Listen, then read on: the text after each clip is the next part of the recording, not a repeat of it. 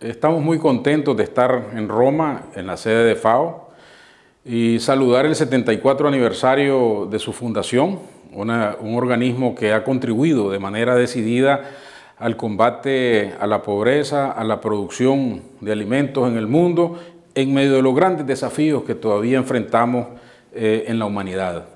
Con el doctor Kudon Yu hemos estado eh, en una reunión eh, muy importante para nosotros. En primer lugar, hemos conversado sobre la conferencia regional que se desarrollará en Nicaragua